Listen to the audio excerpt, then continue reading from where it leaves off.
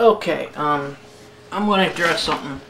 This is my Carbon 15 Type 21S made by Bushmaster. No magazine. No around in the chamber. Um, let me put on safe. It has a military style, so it, it comes to go on safe once it's cocked. So there's been a lot of discussion that says this is not a handgun. Um, it actually says pistol on it right there. But apparently that doesn't matter to some people.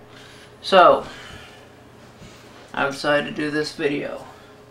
Okay, um, first off, Indiana Code 35 slash 47 slash 1 slash 6 handgun. Handgun means any firearm, 1, designed or adapted so as to be aimed and fired from one hand, regardless of barrel length. Okay? It has only one grip on it. This is a barrel shroud. This is I, this is where a lot of confusion comes up, I believe. That the caliber. This is actually a barrel shroud. It's not actually designed to be held like this. You hold it like so. This to protect the barrel and to protect your hand or anything that comes in contact with that. Sure, you can fire like this, but then again, let me get out. Maybe this one right here. My little Kel-Tec here. No magazine. It's empty. You can fire this like so. Does that mean the front of the trigger guard is a grip? If you wanted to, you can grasp it just like that and fire. Does that mean that's a grip? No, it's not. This is not a grip. Okay? Um, two, any firearm with A, a barrel less than 16 inches in length, which actually here, that's 16 inches. Okay? From the muzzle, 16 inches is actually just past the charging handle. There's no ammunition back in this area. So the barrel, if you want to argue, depending on what side you go, revolvers are generally from the breech to the muzzle. Um, Semi-automatics generally include the chamber. You're looking at about 9 inches, roughly, right about there, roughly. So it's less than 16 inches. Or an overall length of less than 26 inches. So there is 26 inches. This thing is roughly 20 inches long, so I've got 6 inches to play with. Okay? That's Indiana law. Okay? Now, I, I've looked around, I really couldn't find it. I did once, I can't remember where I found it at. But I found this letter here, dated March 4th, 2006. Um, under an implementing regulation of the National Firearms Act, um, 27 CFR 479.11, pistol is defined as a weapon originally designed, made, and intended to fire a projectile from one or more barrels when held in one hand and having a chamber as an integral part of perfectly aligned with the bore. A short stock designed to be gripped by one hand and at an angle to and exceeding below the line of the bore. Okay, one barrel. It fires a projectile. Um, held in one hand. The chamber is permanently aligned with the bore. A short stock designed to be gripped with one hand and an angle to and exceeding below the line of the bore. So that's from the ATF. Um, that's the best I can find. Now,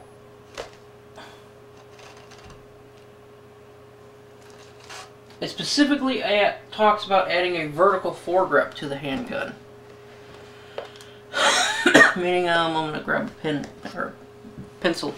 If I took a, if I man, or if I build a grip to put right there, and I held the weapon like so, this would now become an AOW, which is any other weapon. By the way, if you happen to have a, say an AR-15 pistol, such as this one, that has a, a under accessory barrel and you want to put a grip on there so you can fire like so, it's a $5 transfer tax. Everything is the same about it as buying a machine gun or a suppressor or a short barrel shotgun. You know, which I'll talk about in a second. But it's only $5. Everything else is a $200 tax stamp. What you're going to do is, before you put it on there, okay, you, um, you can go to any Class 3 dealer. You can actually, I believe there's places that actually, you know, you can get the forms offline and there's a form that you fill out. You take it down to the police station. You get fingerprints, uh, two sets, I believe. I'm going by memory, by the way, so I might be wrong. Um, you get two passport photos, and you have to get a, a, a signature from a chief law enforcement officer, which I've talked to some people. They say uh, police chief will work. Um, some say a county prosecutor. Some say a judge. I'm not really sure talk to wherever you get your forms from. Um, then you get your, I believe it has to be a money order. I'm pretty sure it has to be money order. I mean, you get a gun permit, it has to be money order. Anyway, so you send that off. You send one to the ATF and one to the IRS, I believe. Oh, the tree looks like a bear over there. Anyway. And you wait, and you wait, and you wait.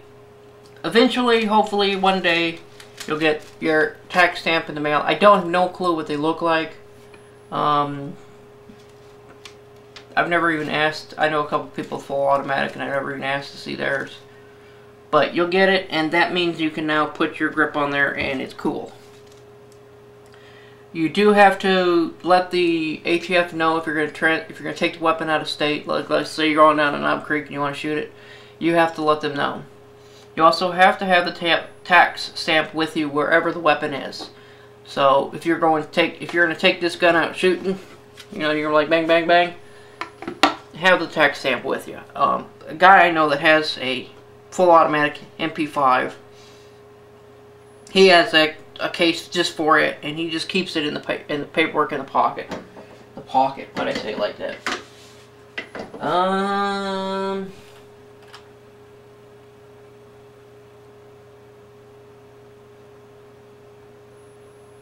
Says you can also send it to somebody to do it, but, you know, wow. That's impressive. Um... ATF Form 1, there it is. Application to make and register a firearm. Submit the completed form along with a fingerprint card, photograph, and $200. What? Oh, yeah, you have to $200 because you're manufacturing the weapon. My fault, yeah. If you're going to manufacture it, like if you want to convert this to full automatic, you'd have to, it's considered manufacturing a new weapon. So if you want to do it, it's $200. But if you take it down to, you know, Bob's Guns, let them do it, they'll do it. It's five. It's only $5 transfer tax. There we go. That's, of course, if it's legal in your state. Okay, there we go. Good thing I read this. Okay, well. Have fun.